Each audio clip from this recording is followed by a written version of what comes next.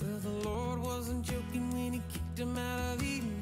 It wasn't for no reason that he shed his blood. His return is very close, so you better be believing that our God is an awesome God.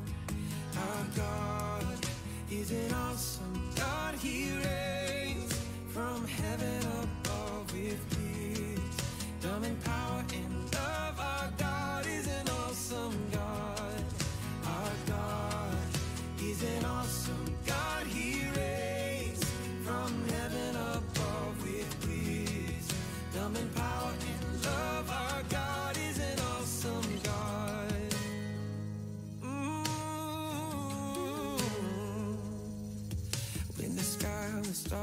in the void of the night, our God is an awesome God. He spoke into the darkness and created the light. Our God is an awesome God. Judgment and wrath He poured out on some. Mercy and grace He gave us at the cross. I hope that we have not too quickly forgotten that our God is an awesome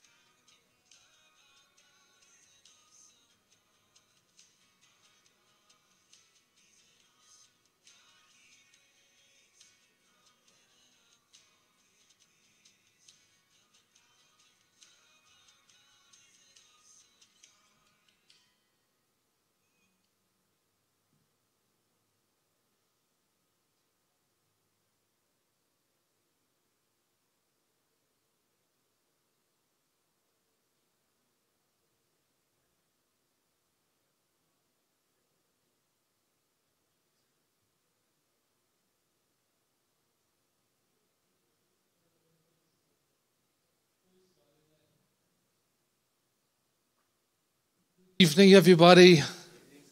God bless you tonight. Amen. Uh, what's the name of that storm that's that's brewing? Is it Storm Teddy or what is it? What's it? Dudley. It sounded like you, Teddy, but it was a Dudley. I'm right. Okay. So uh, thank God it might be a storm outside, but it's calm here. Amen. And uh, it's just good to be in the house of the Lord tonight. And I just want to commend you for coming in to worship. Let's really worship Him tonight. Even the few of us that are here. I know uh, Patrick is going to be ministering the word. He always brings a great word, and I'm always, I'm always en- enthusiastic about sitting under the word myself and being ministered to. And I hope you feel the same. Have an open heart to the Lord. Really stand with me. We're going to go to God in prayer.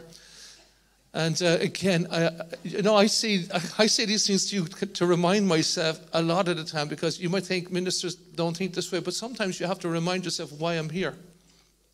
You, you understand? Unto Him shall the gathering of the people be. Hallelujah. Uh, yeah, oh no, he- give up to me. Yeah, I'm getting the inside track here. Frank is going away on Friday. Let's really feel very sorry for Brother Frank. He's going for four weeks into the sun, into South Africa, on the lovely beaches, eating cheap, uh, uh, cheap but really nice quality fish. And uh, so, Frank, we love you, boy. And then Shane, I tell you, man, you always get into the coattails. Amen. And Gonna have a wonderful time. Let's really ask the Lord, just as we gather t- together in His name, that He would just speak a word to us. And as we worship Him, that maybe he- as we minister to Him tonight, His Holy Spirit would come and begin to minister to us.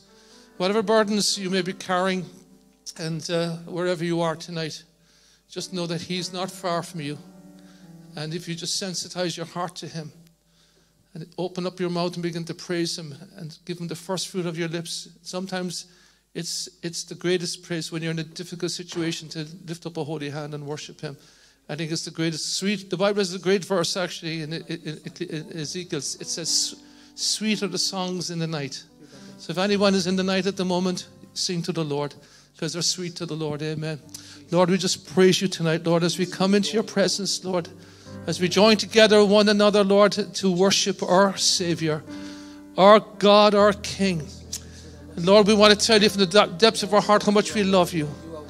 And Lord, we want to thank you for loving us, God. We want to thank you for opening our eyes, Lord God, for redeeming us from the pit, for crowning our heads with glory, Lord, and love and kindness, and filling us and satisfying us with good things, Lord. We just want to thank you, Lord, for bearing with us, God, Lord, with all our folly, yet you love us. And Lord, we want to say we love you back. We love you because you first loved us, Lord God. The way you found us, Lord, you didn't leave us that way, Lord. You, you fixed us, Lord. You clothed us again. You put a new robe on us. You gave us a new name, called us sons and daughters. You brought us, Lord, out of darkness, Lord God, and you set us at your table. And Lord, at the cost of that, Lord, took you your own life, Lord, a brutal, a brutal killing at the cross, Lord. And you did it for us. And we want to bless you. We want to lift up our voices together. We want to join with the angels. We want to join with the church all over the world. As men and women are gathering into different places to worship, even at this moment, millions of voices are being heard as they raise up the name of Jesus. And Lord, we add our voice to that tonight. And we say, Holy and, and wonderful, Lord, and righteous and worthy of glory and honor, Lord, is our Savior. Hallelujah, Lord. We say, You are worthy, Lord God. Lord, you're worthy regardless of how I feel, Lord God. You're worthy, Lord. You're just worthy of praise tonight, Lord. And so, Lord, receive the glory, Lord, from these broken vessels, from our broken hearts, from our broken lives, Lord, that we would say, Glory to the Lord, glory to Jesus. Lord, come and touch every heart tonight. Minister among every seat, Lord, every person, Lord God. Minister to your word, Lord God. Exalt your name, Lord. In Jesus' precious name we ask it. Amen. Hallelujah. Thank you, Lord. Thank you, Jesus. Thank you, Lord. Thank you. Clap your hands, please, church. Where the Spirit of the Lord is, there's freedom.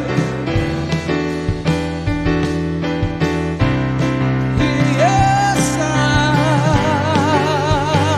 we exalt you, Lord Jesus. You are worthy, Lamb who was slain. Hallelujah, Lord. We bless your name. Where the Spirit of the Lord is, oh, where the Spirit of the Lord is, there is freedom. Where the Spirit of the Lord is, there is freedom. Hallelujah. Where the Spirit of the Lord is, there is freedom. Where the Spirit of the Lord is, there is freedom. Hallelujah. There's peace. There is peace. There is love. There is joy. It is for freedom. It is for freedom. He set us free. It is for freedom. You set us free. I'm free. I'm free.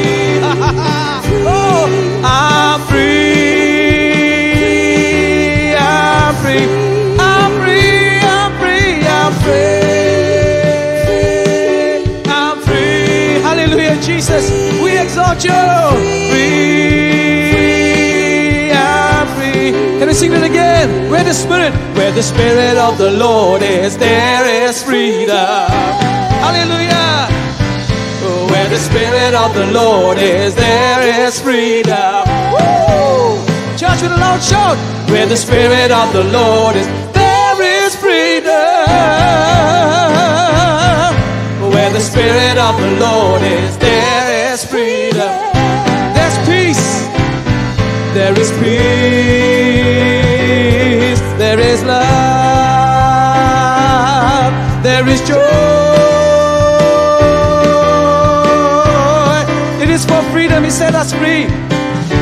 It is for freedom. He set us free. It is for freedom. Hallelujah. It is for freedom. He set us free.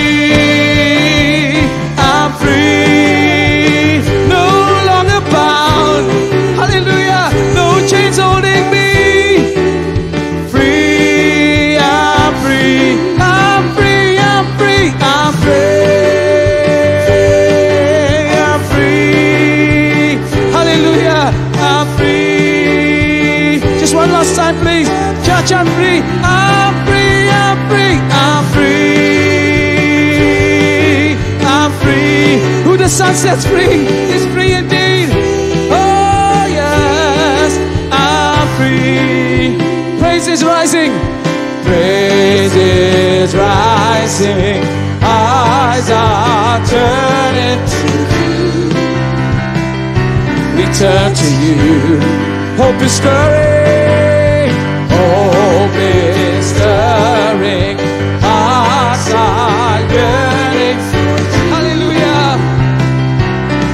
For you. When we see you, cause when we see you, we find strength to face the day. In your presence, in your presence, all our fears are washed away. They're washed away.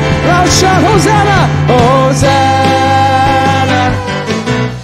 Hosanna! You are the God, Jesus. Oh, worthy of all, worthy of all our praise. Hosanna to Jesus. Hosanna! Hosanna! Come have your way, way among us. We welcome you here, Lord Jesus. Hear the sound, sound of hearts returning to you.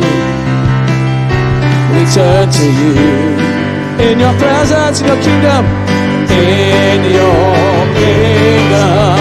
Open hearts are made new.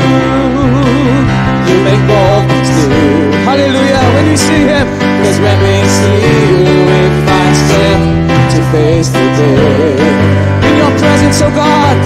Presence, oh, are washed. Away. They're washed away. Hosanna, Hosanna, Hosanna. Hosanna, you are the God, you are the God. Oh, Jesus, worthy of all our praise. Hosanna, Hosanna, Hosanna. Hosanna, Jesus, come have your way among us. We welcome you here, Lord. One last time, Hosanna, Hosanna.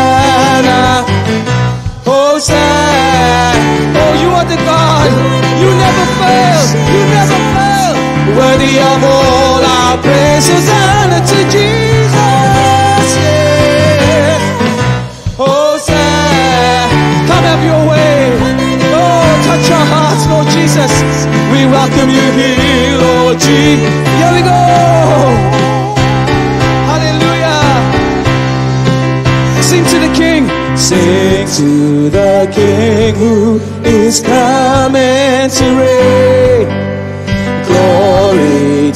Jesus, the Lamb that was life and salvation.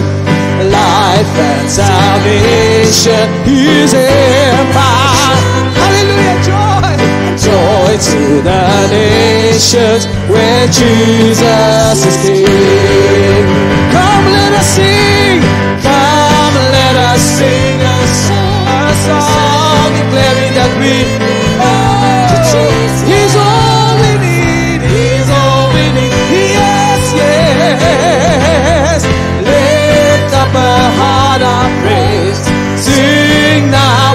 Voices raised to Jesus. Hallelujah, Lord. Sing to the King for His return.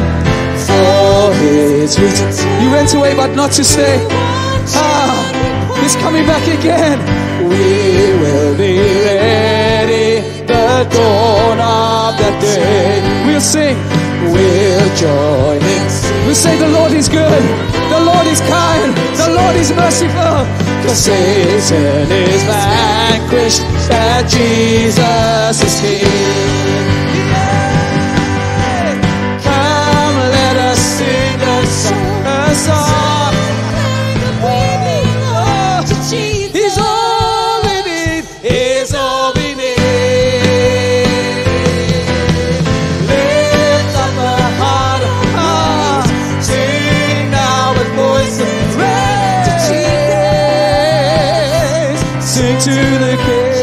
Let me sing it again. For He's returning.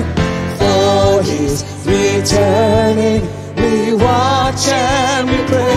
He's coming back again. Hallelujah. Coming back again. He went but not to stay. We'll join in singing. We'll join in singing with all the redeemed. Yes, the Satan is back. But most of all, Jesus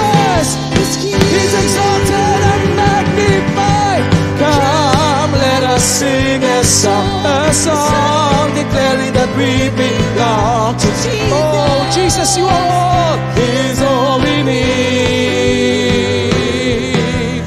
Lift up a heart of praise, sing now with voices. Oh, hallelujah.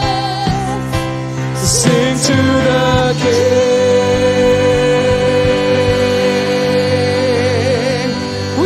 You, King Jesus. We magnify you, Ancient of Days. And we sing, Oh, King Jesus. Oh, Emmanuel. Just can we lift our hands as we sing this one, please?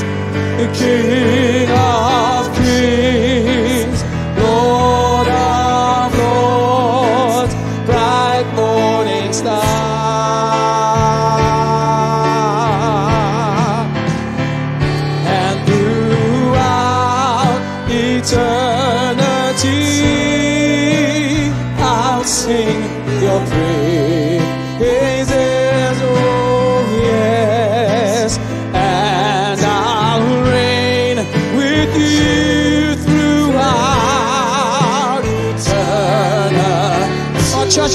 shout,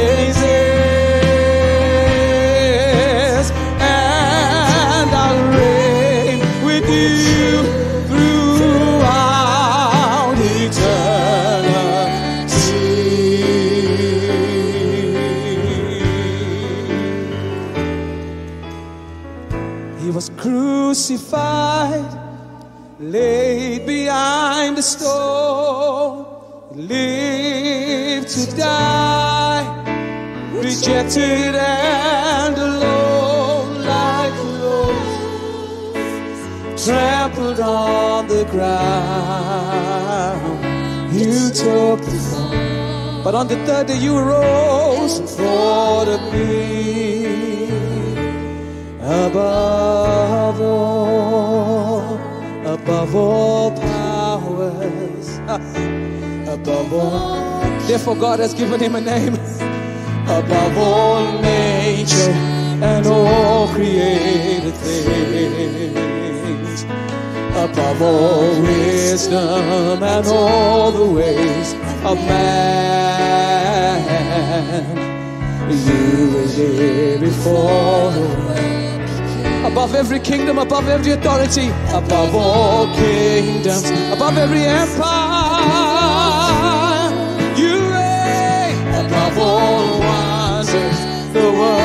Has ever known. Above all wealth, oh God, more precious than silver, more costly than gold. You are, you are. There's no way to measure what you're worth. Crucified,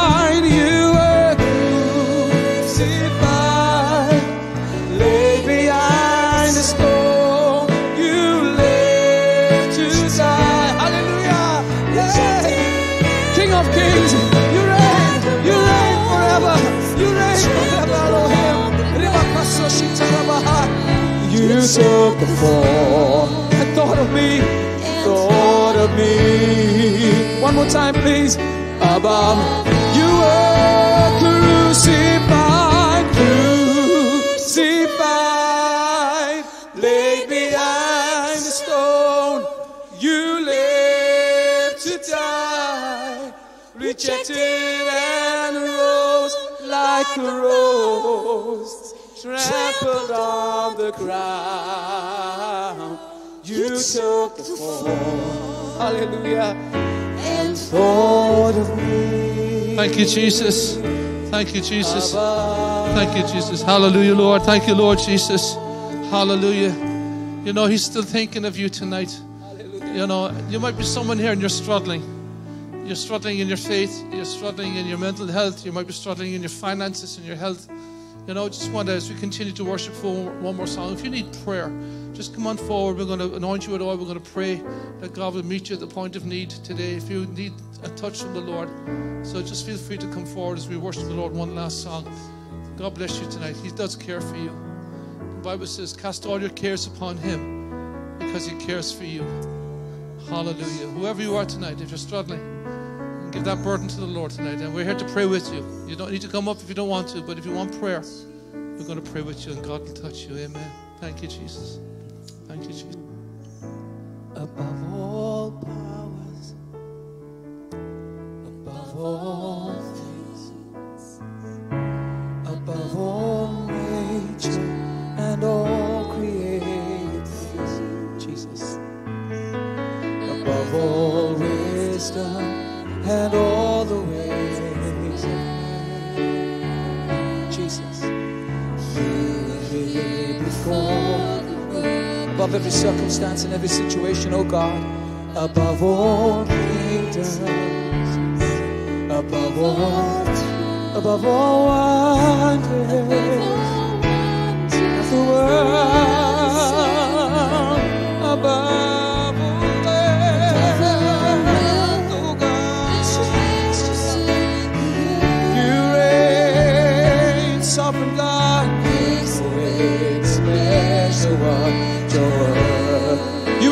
you were crucified,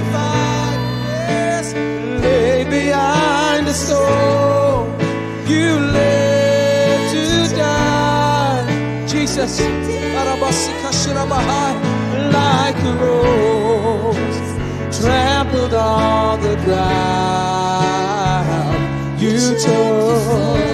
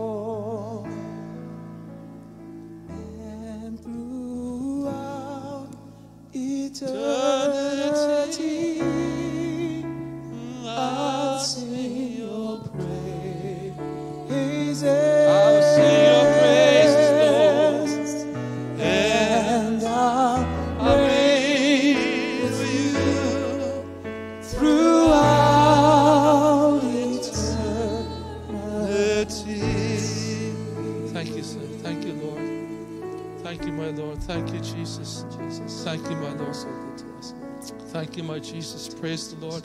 Thank you, Andy.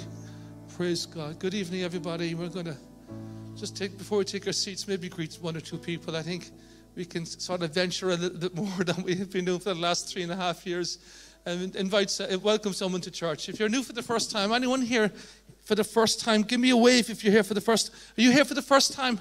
God bless you. Let's turn around, everybody. See this couple standing here at the back. Give them a clap here tonight and welcome them here. You're so welcome. Good to see you. God bless you. Good to have you here tonight. And uh, and uh, Frank, I see you at the back there, Frank Heafy. As we said beforehand, we are all very envious that you're going away for four hard, difficult weeks onto the mission field of South Africa and the beaches. But our hearts with your brother. You've been a tremendous deacon. You are a tremendous deacon in this church and a worker for the Lord. And may you have a wonderful breakaway. Again, every one of you are welcome tonight. So great to see you Wednesday night. And the Lord bless you and strengthen you in your faith. I got a few announcements before we do. If you need an envelope for your tithes and offerings, put your hand good and high. And uh, we'll get some. Shane is here and, and Noreen are here. They're going to serve you tonight. So put your hand good and high to honor the Lord with your tithes and offerings tonight, and they will help you with that. And I got some announcements just to keep us moving forward. the right way. So obviously tomorrow we have Feed Cork again here at, as at 10 o'clock, I think it is. But you know, it's online. Feed Cork is here. We're feeding a lot of people at the moment. There's a lot of need in our community. Give you a praise report. Actually, my mom, I was chatting to my mom today. She was telling me she led a man to Christ today at Feed Cork. And uh, this man is in his 50s, and she said he's a, he was a real tough sort of a guy, real hard man. She said, you know, and a lot of history there.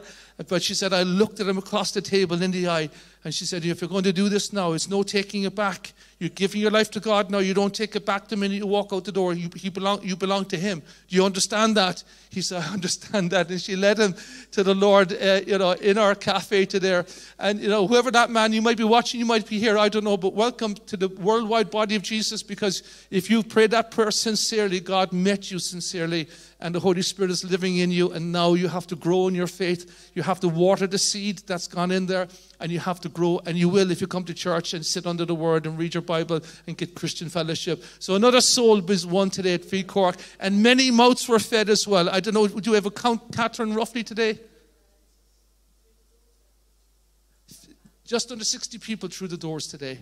Praise God. And that awesome as well. And a great congratulations to the Feed Cork staff to help our, our city, our people. Amen. And Jesus said, Feed the, the, hungry and clothe the naked. And we thank God we're actively doing that at Cork Church. So, some good praise reports there.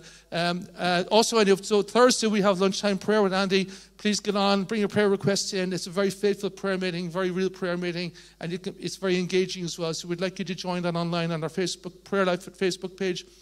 And uh, Thursday night, Portuguese services here, 7 o'clock. Pastor John Ramos and the team will be here, and there's lots of refreshments. So if you're a Portuguese speaker, or you have friends who are, or if you're an English speaker, you want to kind get, get an idea of what it's like, you're invited along as well. So there's no age limit there. They'd love to see you in. It's an open service and uh, a great, great, great quality service. Great ministry goes on on Thursday night. Friday night, we got our youth going on here. We got children's ministry as well. You, you, kind of know about that, the general church. It's all on our Facebook page as well, on our website, Cork Church website page, Cork Church Facebook page. All the ministries are there. But Friday night's kids' night, and again, great teams are there. Um, we have, of course, on Sunday, then we have our main service here at, at, at 11, 10.30 pre-service prayer. I'm delighted to hear reports that that's growing, and it's not just growing in numbers, it's growing in conviction. People are beginning to pray the stars out of the heavens, amen, and they're beginning to pray the blessing of God because we sense it here when we're coming into worship and minister, the prayer and intercession of these men and women is breaking something and breaking into the hardness of hearts, and the Holy Spirit is getting a greater liberty to move. So I want to encourage you, if you say I'm not part of a ministry, just come in and start praying, even for a half an hour with these men and women, and learn how to pray and learn how to intercede behind the scenes, and God will honor you for that and bless you for that. So that's at 10:30. Uh, young adults then is at Sunday after Sunday evening here at seven o'clock. So we welcome again. All those details are online fantastic service, actually. I think there's 60 to 70 young uh, men and women coming in, and God is really touching them. There's a, there's a, I'm hoping to see an army rise up of these young men and women filled with the Holy Ghost, going into the colleges and the workplaces and coming out of the closets. Amen. Amen. Everything else is coming out of the closet. It'd be nice to see the Christians come out. Would you say, do I hear an amen? Every trash is coming out of the closet these days. It's good for some Christians to start coming out of the closet and saying, Hi, I'm a Christian, okay? Let's see what they say then, amen. Amen. I only wish that we would come out of the closet. Uh, well, Jesus said it differently. He talked about coming out from underneath the bushel, didn't he? So, so let your light shine. And I believe God is putting conviction upon a lot of these young men and women. Great report that in our church today, we got young men and women that are solid in apologetics, unashamed of the gospel, would preach the gospel at the drop of a hat, and they're not at one bit embarrassed about it. Amen. So I just love that. Uh, and, and it's going to become infectious in the workplace, and God is going to use it for His glory. Men and women are going to get saved. Amen. I'm a Christian and I'm, I'm proud of it. Amen. Praise God. That's good pride to have to be a Christian. So bless the Lord Jesus tonight and uh, thank God for what He's doing in our church. Monday night prayer meeting is on Zoom. We're keeping it there for a while longer. It's really working well. Even if you don't like praying online, and this has kind of bothered me a little bit, many of you can get online. It doesn't bother me. It should bother you if you're not praying. But honestly, try and make some friends. Connect online and learn how to pray with Christians, not just here in Cork Church, but around the world on our online prayer meeting on Zoom at 7 o'clock on a Monday night. I just want you to come in. It'll take a few weeks for you to get used to the format, but after a while, you'll start to pray with us and we pray through issues and we just bring our prayers before the Lord. We're not relying upon our emotions, we're on the integrity of the prayer and that God hears it. So we're inviting you to be part of that prayer meeting as well. Uh, our offices are Tuesdays to Fridays, 10 o'clock onwards to 4, and then Feed Cork is here uh, Wednesdays and Thursdays, back here Wednesday again for 7.15 service. That's kind of the announcements. If you need pastoral care, always call the office. Again, I'm always putting this out to people. Some big traumas in people's lives, people are going through a lot of stuff, and you can't sort that out in the five minutes after a service on a Sunday morning. Some of those issues deserve prayer. They deserve contemplation and to think and to wait and to hear a word from the Lord for you. So come in if you need counseling. Read, ring up and make an appointment to see one of the ministers. There's always going to be someone here to help you. Again, if you're part of the Cork Church congregation and you're experiencing food poverty as a result of your rents going so high, or maybe your incomes have dropped dramatically, Feed Cork is here for you as well. You don't need to be hungry, at least when you come to this church. Amen. So we want you to know that. The Bible says, do good to all men, but particularly to the household of faith. So we want to make sure that our people understand there's food in the house in every level. There's bread in the house of God for you too. Amen. I think I didn't do too bad. Did I miss any announcements? Did I do okay with those announcements? Hmm? Oh, the tithes and offerings. Well done, Andy. praise God. Can you come forward? We're going to pray for the tithes and offerings. As they come forward, uh, I do have an announcement. There'll be video announcements going out during the week. Uh, next Wednesday, we are starting part one on what works for marriage. And again, watch the, the Facebook and the different clips that are going on YouTube and stuff like that. But um, if you're married, uh, you hope to be married one day, you're going to glean so much from this. Uh, uh Dr. Neil Rhodes and Noreen have been involved in marriage ministries for 25 years. I think it was senior pastors at Times Square Church and now church planters uh, are ministering in, in, Geneva. They'll have a lot to help you with uh, in every aspect of marriage. So it's going to be very, it's going to be very practical. It's not going to be kind of skirting around issues. It's going to be things that they've learned, and I think that's always good to kind of find people that have made mistakes, find people that have journeyed, people understand the pressures of life, finances, rearing children, issues between personalities in a marriage, things like that. Uh, the reason we do this here at the church is because we're shepherds we want our church to be living in victory, and we want to give you the tools that you need to get through some difficult times. So that's going to be happening next Wednesday, part one, and the Friday then after that is going to be part two here at Cork Church. So we want you to understand and be part of that. Maybe scratch your diary, make sure you got the dates cleared. And then on the Sunday, and again, all this is going online, this is very important as well. This Cork Church the foundation of Cork Church doctrinally, its soteriology, its understanding of salvation is based upon the new covenant. And so we really encourage you to get into part one and part two, Sunday morning, Sunday evening at six o'clock, six thirty, I think. But I might be corrected with the times, but thereabouts. Mark off your Sunday evening, six six thirty, whatever it is. But part one and part two on the new covenant. Pastor Neil will be teaching from a large whiteboard here. Uh, it's a great time for you young men and women to take in a, a notebook and pen and just write down scriptures, write down references, work through what this is about, and get a good grasp of what the Bible teaches on the doctrine of salvation. Very, very important because if you have a wrong view of salvation, it's going to throw out your view in an awful lot of, of the Bible. So you have to have that grounding, right? So we're inviting you, let you know, a couple of pastors have already rang me about coming down because they heard about it. They want to sit under that. So this pastor's traveling down from the, up the country, just out of the blue, rang when's he coming in? When's this happening? Count us in. So praise God. Um, we just really want to recommend it to all of you. Amen. Bow your heads with me and we're going to pray. Heavenly Father, we thank you. Thank you for this Wednesday night, Lord. Thank you for these wonderful brothers and sisters that are here to worship you, Lord. And uh, Lord, we just thank you that you're building your church. And, and, Lord, not just here at Cork, but Lord, Lord, the gates of hell is not stopping it anywhere. Lord, you are advancing your kingdom. You are bringing men and women. We give you glory for this man that got saved today that we know about, Lord. And we pray, Lord, wherever he is, your hand of protection will be over him. You will protect his mind. You'll protect his spirit, Lord. But Lord, these tithes and offerings we give freely. We give them out of honor to you. We give them in faith. We ask you that you will multiply them for the glory of your name. And we thank you indeed for the many blessings that you've poured into our own lives, God.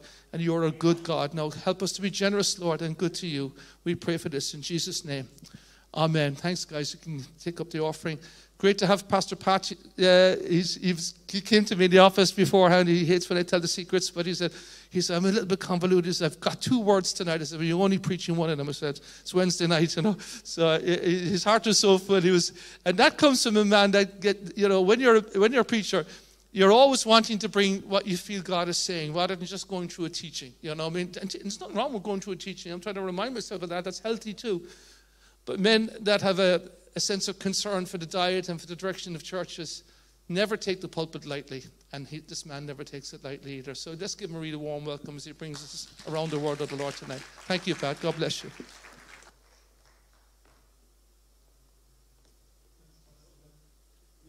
Yeah, I'm going to have to stick to one tonight. Is that okay if I just do one? No, it's not. You want me to do two? I'll just do one. no, no, no, no, no, no, no, no, one's fine, one's fine. Good. Hallelujah. Yeah, one is more than enough. Um, good evening, church. Amen.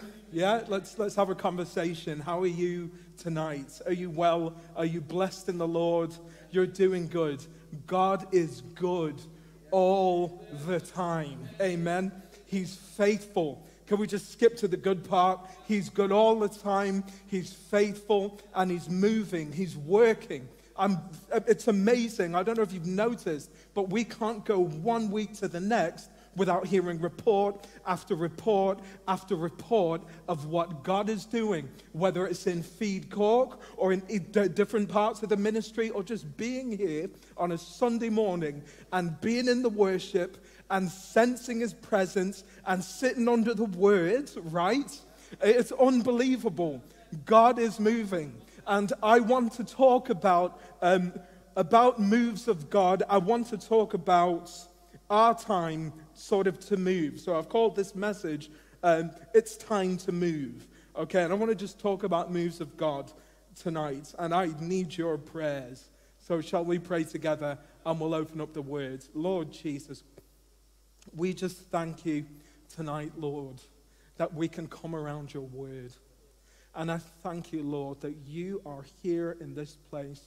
Your presence, Lord, is a greater reality than whatever light, momentary, temporary things we might be, we, we might be encountering, Lord. As difficult as it might be, as life can get, we belong to you, and you're bringing us to an expected end. And we thank you, Lord, that you're moving but you want us to be a part of it. We have a part to play in your plan of salvation for this city.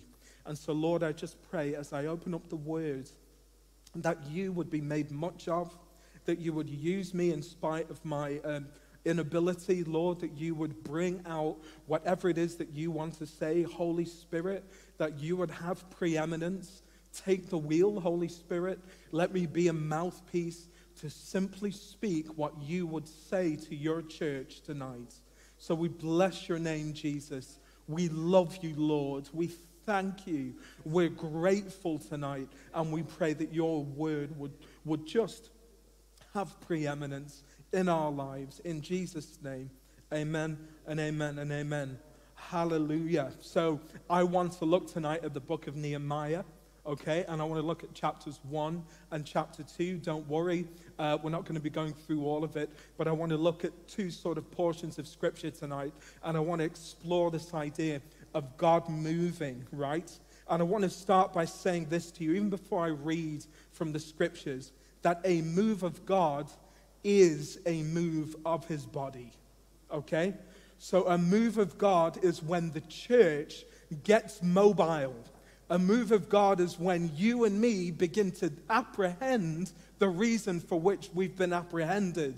We start to say, God's word says it, I believe it, that settles it.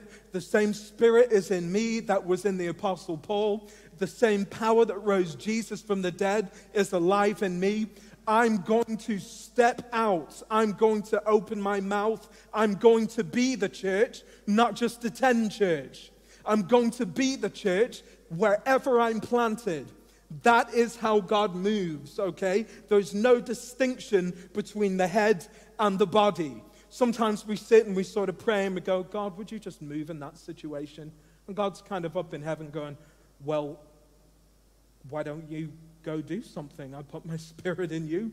You're my, you're, I want to work through you. I want to affect people's lives through your life, through my life in you. You what you you you can see a need, go be the answer. Go be my response to the need. Go be my hands and my feet in that situation. We can get a very mystical sort of view of God moving. It, it, can be a convenient view because we can be sitting on our sort of spiritual armchairs waiting for God to do something in the lives of our neighbors or in the lives of our community. The word Cork, I don't know if you've noticed, Cork City isn't getting any better. But the light of the gospel is rising in the church. Amen. In you and in me. And there is a response to the need. Look to the person next to you and say, I am the response to the need. Go ahead, like you mean it. And if you, do you know what? If you're not next to anybody, you can sort of just say it to yourself. Okay, there's nothing wrong with that. And as you do, I'm going to just, um, oh, thank you very much. I'll drink it all. I'm parched. Thank you, thank you, thank you. Okay, and uh, while I'm having a sip of water, let's turn to Nehemiah chapter 1. Hallelujah. Background on Nehemiah. Nehemiah led the third wave of uh, exiles back from Babylon back from 70 years of captivity. uh, the king of Babylon, um, uh, Nebuchadnezzar, had rode, rode in in 586 BC. He'd sacked Jerusalem and he'd brought away um, all, most of the inhabitants of Judah away to Babylon for 70 years. And three sets of exiles began to return. Uh, the first, uh, uh after the 70 years was over, the first was led by Zerubbabel. The second, 60 years later, was led by um, Ezra. And so Zerubbabel rebuilt the temple. Ezra sort of restored the, the, the, the law and all that kind of thing. And then uh, Nehemiah uh, built the wall. So if we're ready, let's go to Nehemiah chapter 1, and I'll take a swig.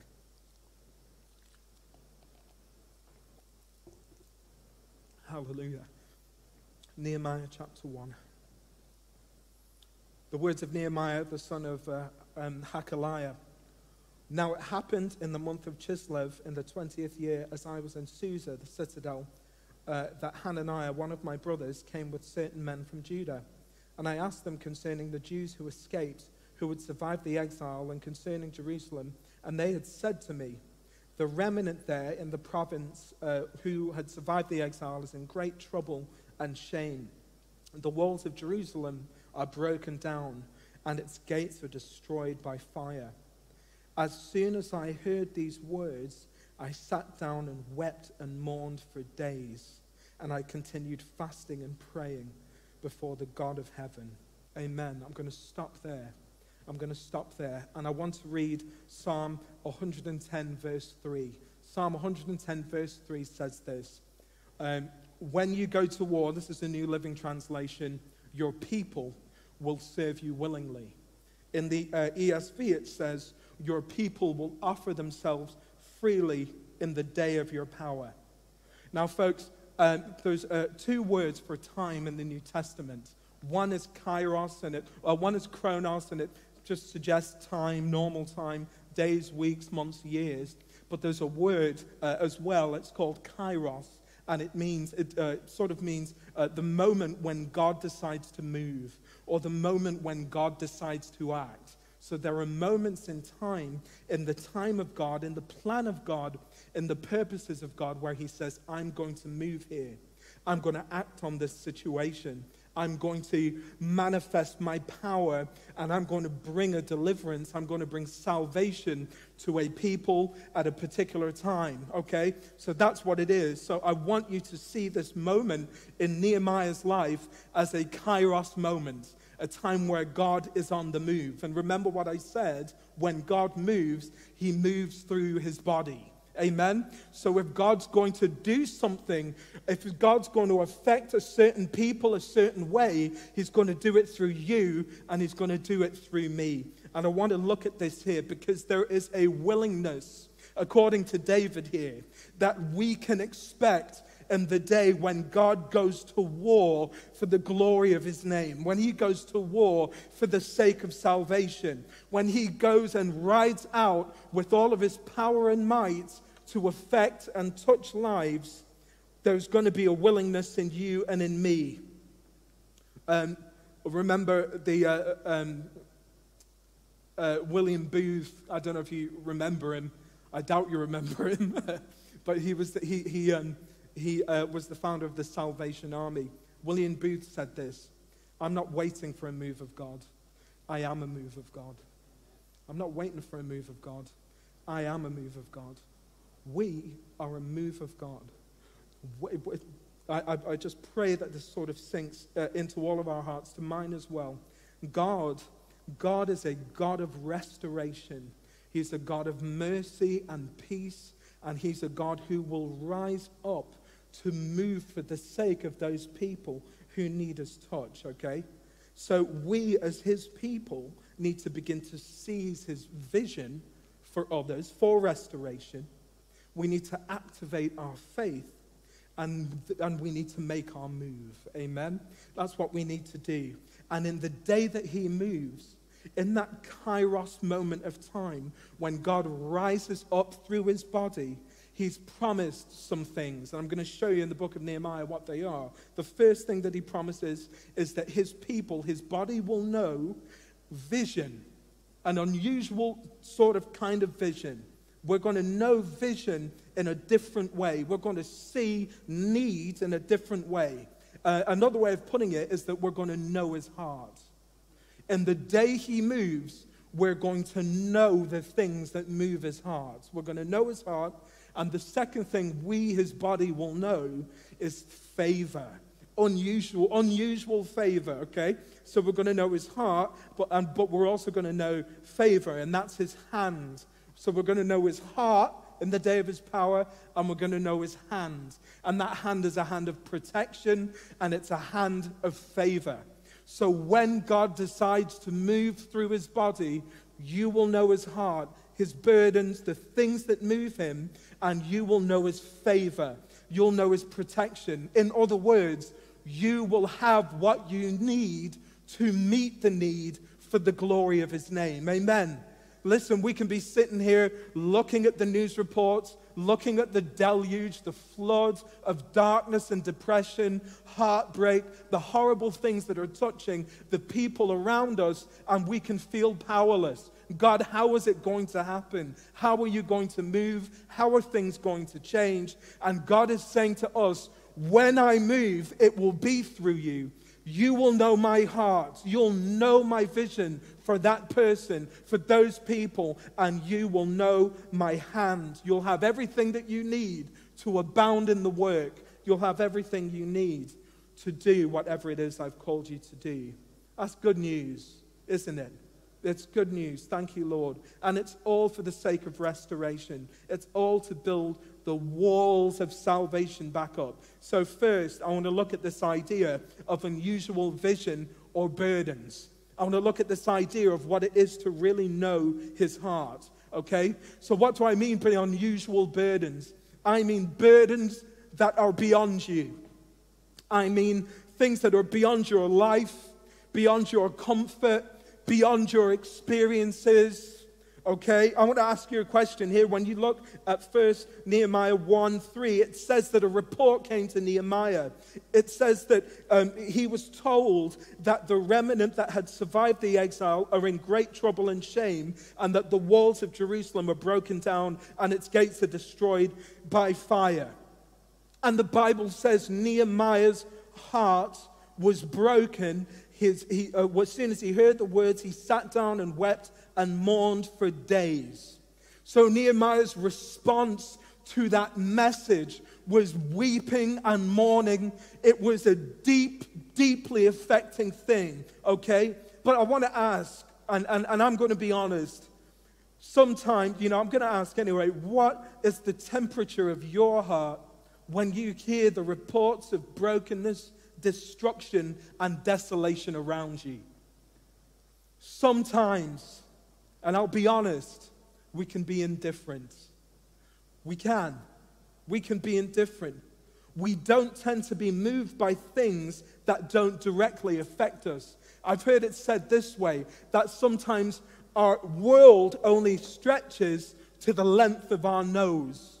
It's true. It doesn't make us, it's just reality. We can be consumed with our own lives, with our own uh, difficulties, the things that we're working through, whether it's raising kids, whether it's houses or jobs or, or whatever it might be. Sometimes we've got enough on our plate just dealing with our own lots. It can be like that. But there was a, a moment here, in, in a moment like this, when God decides to move. When the report came to Nehemiah about the walls of the city, right? And th- these are walls that he'd never seen.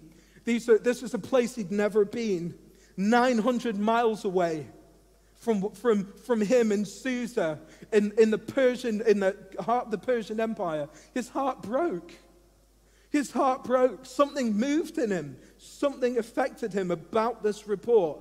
Something uh, about the plight of the people. He didn't know them, but he recognized that they were his people. And listen, you may not know the people in this city, but they, were, they are God's image bearers. They were made in his image, right? Like you and like me. And there's a kinship that can enter into our hearts. We can, there's a, a moving uh, in our hearts toward people where we look at them and see them as image bearers, where we see them as kin, if you like. Paul had an anguish of heart as well I'm going to read here from Romans 9, verse 3 to 4. Paul had an anguish of heart to the point of being willing to cut off, uh, to be cut off for the sake of his people, the Jews, too. So Paul knew what this was, and it's here in Romans 9, verse 3 to 4. I speak the truth in Christ. I am not lying, as confirmed by my conscience in the Holy Spirit. I have deep sorrow and unceasing anguish in my heart.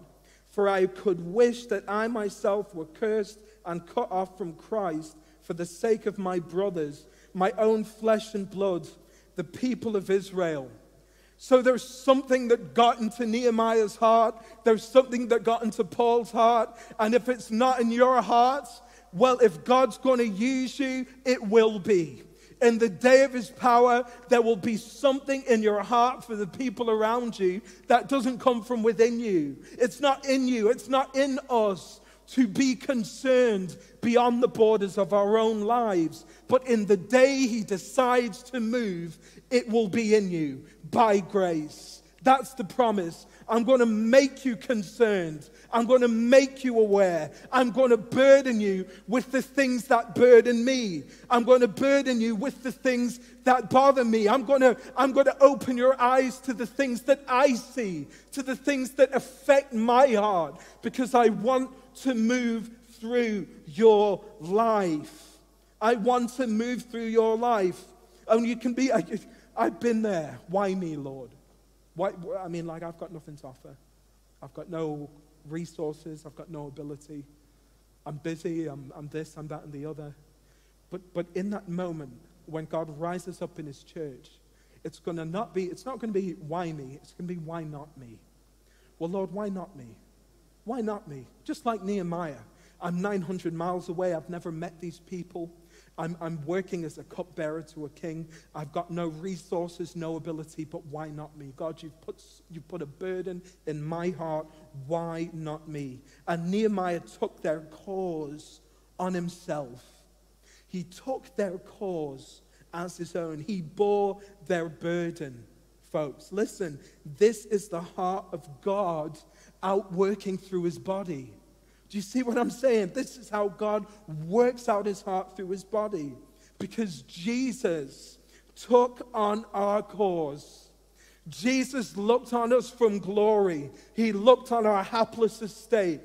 We were far, we were distant. He had everything he needed, shrouded in glory. In John 17, he talks about the glory he had before the world was created. Jesus was sufficient. Jesus had everything, yet he looked to us, to you, and to me. He saw our need and he said, I'm going. I'm taking that burden, the burden of their sin, their failure, their shame, and I'm going to move. I'm going to rend the heavens and I'm going to come down. There is something of the compassion of God that we see in our Savior, that we will see in ourselves the day God rises up for his testimony in this city. I said, God is going to rise up for the sake of his name in this city. He will not let Cork City go to rack and ruin, not while there's a church, not while he's indwelling people through his spirit, not while he's filled vessels with his glory. He's not going to let it go down to the depths of hell. He's not going to let suicidality win the day. He's not going to let domestic violence win the day. He's not going to let drug addiction win the day. He's not going to let these things win the day. He's planted a church. He's planted a witness. He's planted a testimony. He's planted himself in you. Emmanuel, God with us. We, this, this is, what. this is the time this is what I'm trying to say, as ineloquently as I might be trying to say it. This is the time. He's moving, and He wants to move through you in greater measure. He took their cause on Himself. Jesus bore our burden. He came to our broken walls, seeking to rebuild. Jesus was cut off. Like Paul, like Paul said it. Oh, that I would be cut off that they might be brought in.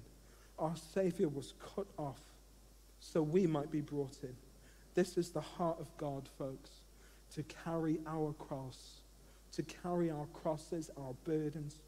And it's playing out through Nehemiah, through this story. And the promise is that in, in, in the moment he moves, it'll play out through us.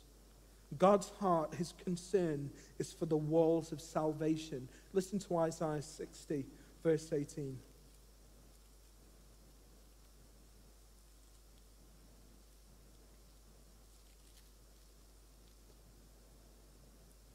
Verse 17 and 18.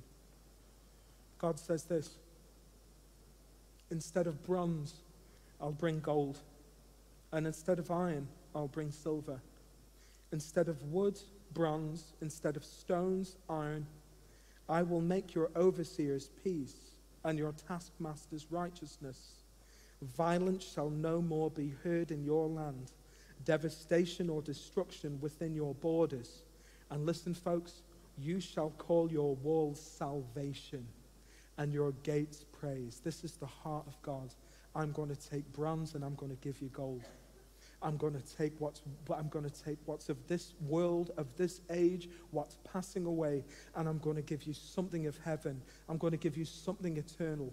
I'm going to restore. That's his promise to, to his people, but also that's his ministry through his people to the lost. I'm going to restore, I'm going to, re- I'm going to rebuild, and I'm going to use my people. And the walls will be called salvation because God has decreed an end to this sort of violence and ruin and destruction in the lives of people. And He's ordained that His church would be the answer. 1 John 3 8, the Bible says He appeared, Jesus appeared to destroy the works of the devil. Hallelujah. And He has appeared through His church. And when you stand there for people, when you stand there, when you stand and uh, as his body, as his hands and his feet, he appears in you. There's a witness of Christ in you when you are that for people. We love and have loved the ministry of David Wilkerson in this church. He's a personal friend to Pastor Nick, to Pastor Hamp, and um, we are just so happy to continue on in the relationship with Times Square Church. Summit, Pastor Carter, Pastor Teresa. But most of us know the story. We've read The Cross and the Switchblade. Maybe you've seen the movie. God loves Nicky too. See the movie? No, with Pat Boone? No? Erik Estrada? You're missing out. Make sure you watch that, right? But we know the story. David Wilkerson seeing news reports of gangs in New York. He took a pulpit, David Wilkerson, in Philipsburg in central Pennsylvania. Okay? far away. I've been in Pennsylvania, I've been in New York, hours away. But in 1958, he read in Life magazine about a group of teenagers, members of the Egyptian Dragons Gang, then on trial in New York for murder. And later he said in, the, in interviews that the article impelled him to go to New York and help these gang members. Just a preacher, just a preacher from another state, reading a Life magazine article that thousands, tens, hundreds of thousands must have also read. But it was a kairos moment in time. It was an ordained moment in time. And God put a burden in that man's life for, for those gangs in New York. And this skinny white preacher went to New York and met a man called Nicky Cruz. And we know the story. I believe Nicky Cruz has spoken to more people live than even Billy Graham did because it was a kairos moment in time. Just, just out of that moment, that act, out of that burden, God birthed World Challenge, Times Square Church, and many other ministries and ministers into the kingdom of God. Do not underestimate what it is to have God burden you with his heart. Don't underestimate. Let's rise up. This is my burden. Those needs, this is my burden. This is my calling. I am called to the needs of others. I'm not called to personal glory. My calling isn't to a stage, it's to a gutter, to be his hands and feet to the broken. That's where I'm called. I'm called to where the need is, to be his hands and feet, to lift them up. This is Jesus. This is Jesus. This is his heart. Psalm 40, verse 2. 1 and 2. I waited patiently for the Lord. He inclined to me and heard my cry. Hallelujah.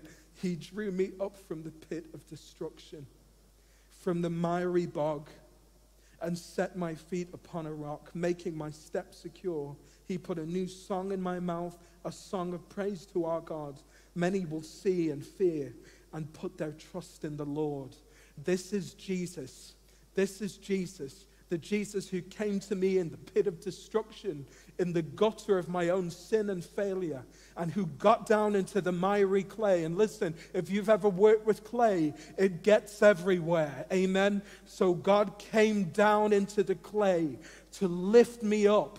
And there's a struggle to lift anything out of clay, folks. And some of you know how you struggled with that, with, with Jesus, with that call to salvation. You know what it is. You know that struggle, that call when His love called you close and you resisted, but He had His way. Hallelujah. And He put your feet on a rock. He established you on a secure path and put a song in your mouth and at the end of that psalm, of that reading, there's a promise that that work of salvation will cause many to put their trust in the Lord. Many will put their trust in the Lord. Many, many. That is the promise. You will be fruitful. Your salvation will bring about a harvest in due time. He will use you to affect many with the same gospel that affected you. Many, that is, receive that for your life. If you feel like you're fruitless, if you feel full of fear, if you can't find anything in yourself to rise to the needs around you, He will come at the opportune time. You will have everything you need and you will be fruitful in Jesus' name. What a call! What a call! And in truth, at a certain point, we recognize the depth of the problem and the shallowness of our ability, don't we? We're brought back to it. The depth of our blessing and comfort and the utter exposure of those around us to the effects of sin. But that's all right. That is all in the plan because, like Nehemiah, it's to push us into prayer. It's to push us with that burden into prayer. God wants to burden you, open your eyes to your own uh, inability and need for Him, and then bring you into the place of prayer. God burdens you so you can unburden Him in prayer because it's through divine power that these things come to pass. Not by might, not by spirit, but not by might, not by power, but by my spirit, says the Lord. Amen. Don't forget. Now listen. When brokenness, when the brokenness around you breaks you, God burdens you so you can unburden it in His presence. When you are truly moved for people, it moves you into the presence of God. It's more than just talk, isn't it? That's, isn't it funny? Someone gives a bit of bad news or a bad report, and we, we, we oh, that's awful, but we're all looking for a way to get the conversation back onto something a little bit less intense, a little bit less awkward. Oh, that's terrible, and, and we'll, we'll, you know, you give it your, the customary six seconds, and then you crack a joke or bring something else up, and you get as far away as possible from the, from, from the topic. Well, the promise here is that there will be a time where you're burdened into the place of prayer. I'm not let, that I can't shake it, Lord. I can't shake the vision you've given me for those people. And I'm bringing it to you because you're the only one who can bring it about through my life. Lord, I may not have resources, I may not have influence with earth, earthly authority, but I have the ear of the King of Kings. I have the ear of the King of Kings. And the first thing I'm going to do with this burden is give it back to God. And now I'm going to have a look at Nehemiah's prayer here. Nehemiah prays, and it's an intercessory prayer, and it's one of um, a few that I can think of in the scriptures. Another would be Daniel's intercessory prayer in Daniel chapter 9. And we're going to touch on that too, but I want to give you a couple of points, a couple of uh, elements to Nehemiah's prayer that maybe you can use in your own prayers as you pray over needs, as God burdens you with them. What do you think? Let's do it. Have a look here. I'm going to read it out. I'm going to read the prayer and then I'm going to go back through it. So have a look here. Verse 5 uh, of, of, of Nehemiah 1. And I said, O Lord, God of heaven, the great and awesome God who keeps covenant and steadfast love with those who love him and keep his commandments, let your ear be attentive and your eyes open to hear the prayer of your servant that I now pray before you day and night for the people of Israel, your servants, confessing the sins of the people of Israel, which we have sinned against you. Even I and my father's house have sinned. We have acted very corruptly against you and have not kept the commandments, the statutes, and the rules that you commanded your servant Moses. Remember the words that you commanded your servant Moses, saying, If you are unfaithful, I will scatter you among the peoples. But if you do return to me and keep my commandments and do them, Though your outcasts are in the uttermost parts of heaven, from there I will gather them and bring them to the place I have chosen to make my name dwell there. They are your servants and your people, whom you have redeemed with your great power and by your strong hand. O Lord, let your ear be attentive to the prayer of your servant and to the prayer of your servants who delight to fear your name, and give success to your servant today and grant him mercy in the sight of this man. No, I was cupbearer to the king. Let's walk through that prayer because there are elements to it that we can carry into our own prayer closet as we pray through needs. Number one, Nehemiah in verse 5, he prays the word. Okay, he prays the word, and I'm going to show you what I mean by that. He makes three, he prays three things, recognizes in his prayer three things about God he recognizes that God is the God of all power and that he's a, he's a promise keeper, a covenant keeper, and that he's the God of all faithfulness. And, folks, when we get into that place of prayer, we need to remember, we need to extol and lift up the reality of God is, because of, of who God is, because if we don't, we will have our needs will be bigger than our God, if that makes sense. God has to be magnified.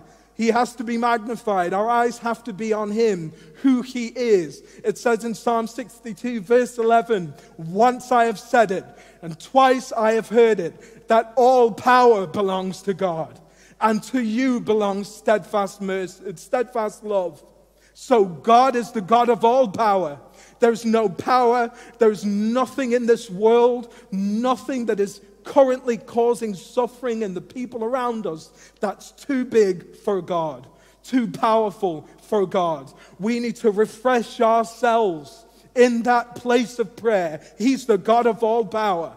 He's the God of all, he is the God of steadfast mercy. And he's a promise keeper. He's going to be faithful to his word. God, what you said you will do, that you will do. You have called yourself Jehovah. Jehovah means promise keeper. It means promise keeper. We speak about faithfulness a lot. We sing about his faithfulness. Amen. God's faithful. But I love that idea of promise keeping, a promise keeping God. What I love about that is this if I promise you something, the only way you're not going to get it is if I either lie or change my mind. Hebrews chapter 6 tells us that it is impossible for God to do either. So if he said it, if he promised it, he's going to be faithful to his word. For God, saying it and doing it are the same. Remember what he said to Jeremiah Jeremiah, I'm watching over my word to perform it. I'm watching over my word. Remember Psalm 138, verse 2? God has put his name, his word, even above his name. What does that mean? It means that God has attached the glory of his name to him fulfilling whatever he's promised. So the day he doesn't do it is the day he's no longer called faithful, the day he's no longer called Jehovah. He's a promise keeper. Hallelujah. So we remind ourselves of that in that place of prayer. In verse 6 and 7, he starts to talk about the reality of the failures of the people. This is a real thing, Lord. It's a reality. And so he's coming honest to God in prayer.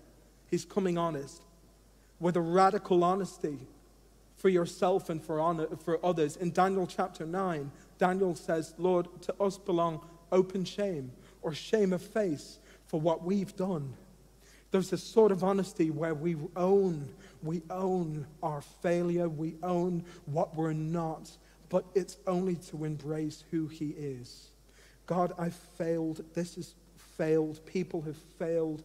Our attempts have failed, but you are merciful. And I thank you, Lord, that you will move according to your character, not mine. You're going to move according to your character steadfast love, faithfulness, mercy. That's you. That's who you are. You're going to move according to that, God, even in spite of what you see in people. That's encouraging, folks. If you're praying for somebody, if you're trusting God for somebody, and you, all you can see is their failures, maybe all you can see is your failed attempts at changing them or moving them the, the, uh, in a righteous direction Thank God we can own all of that. And God will move not because of our character, not because of what we can do, but because of his character. He's merciful, he's kind. And so he's going to move by grace, folks. Three, number three, Nehemiah says this in verse 8 and 9. He says, Remember the word that you commanded to your servant Moses. If you're unfaithful, I will scatter you among the people but if you return to me and keep my commandments and do them, though your outcasts are in the uttermost parts of heaven, there I will gather them. So, in other words, Nehemiah is praying the promises of God. He's pointing God back to his promises. I think it was David Wilkerson who said, You, you, you sue God for his promises.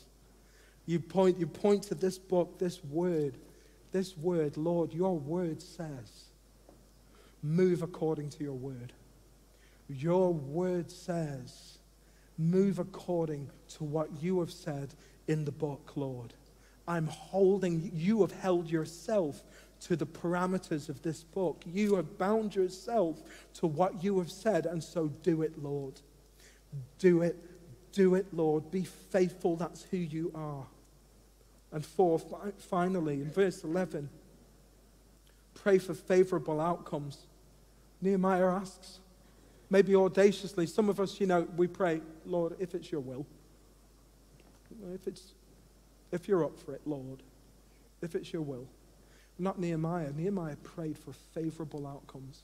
He said, God, just Lord, you, do you know what? Sometimes we don't pray the way that we should. We should come to Him. He's our Father. He loves us. We should ask with audacity. We should be audacious. I've got a 13 month son. He has got no problem barking out orders and he doesn't even speak yet. My son will just go, uh, uh, uh, and point with his head if he wants something. And he's not waiting, he's not writing me a letter in, in Shakespearean English. He's not making an appointment. Uh, he's not even waiting to see if I, um, I'm not busy doing other things. He's approaching and he's doing it on, on the on the lone ground of the fact that he's my son. And we should be talking to God this way, praying for favorable outcomes. God, move this way. I'm asking you, if you don't do it, I trust you, I love you, you're at work for the good in all things, and I'll make my peace with that. But up until you move, God, I'm praying that you move this way. Move this way. Save this person. Save all those people. Touch all those lives. Bring them in, Lord Jesus. Do it, do it this week. Do it, do it this, do it today, Lord. You're able. It's nothing for you. A word from heaven. It could happen now. Why should I be bound by, th- by the things I see around me, by my situation? My prayers shouldn't be bound by, by the parameters of my situation. My, my circumstances don't speak for you, Lord. I can pray and I can pray audaciously and trust you, Lord. Thank you. Do you know?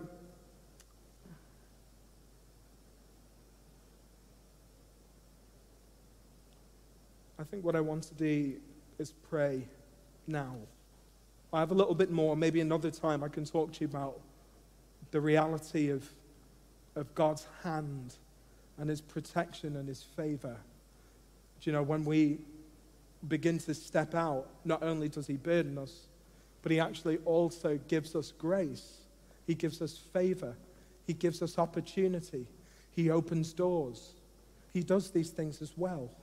And what time is it, Andy? Plenty. Let's pray. Another day we'll look into it. But I, I hope, church, I, I just want to encourage you.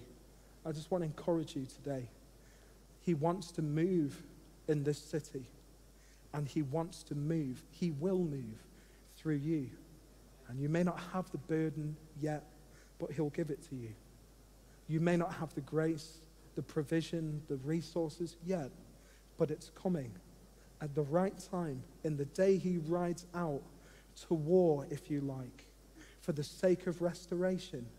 We will be right there as his body, moving, doing whatever it is he's called us to do for the glory of his name. Jesus, Lord. Come on, lift your hands, church. Lift your hands, church. Let's, let, us let us wait, wait, there's a, there's a, a so much out there. There is so much need. And we're the answer tonight. The Christ in us is the hope of glory. Lord Jesus, Jesus, you've given us everything we need for life and for godliness, but also, Lord, that we might affect other lives for your glory. Oh, Jesus, we are, you know that we're but dust. You know, Lord Jesus, that we are limited in our capacity, limited in our vision, limited in our resources. Yet, Lord, you've said that you'll give us your heart in the day of your power, and you'll give us your favor and your, and your grace in the day of your power. And I just pray, Lord God, for those people in this city, Lord, who need a touch. Lord, I pray that you would stir us again to go out and be your hands and your feet in the name of Jesus. In the name of Jesus, for the glory of the gospel. Never let us forget, Lord, you are heaven's Nehemiah, Jesus. You came from heaven to earth to rebuild the walls of salvation. And now you call us to participate in that work, that work, Lord, of building for your name. So, Jesus, we love you. We bless you. We praise your name. Hallelujah. Amen. Hallelujah. Praise the Lord, folks. Church, God bless you. Thank you for your patience tonight. Thank you for coming in, braving the elements. And listen, we're going to just keep an eye on social media. Um, we've got a lot going on this week, and it's all good. And just a quick plug make sure you come to this Neil Rhodes thing. It's going to be fantastic. You're really going to enjoy it. Amen? All right. God bless you.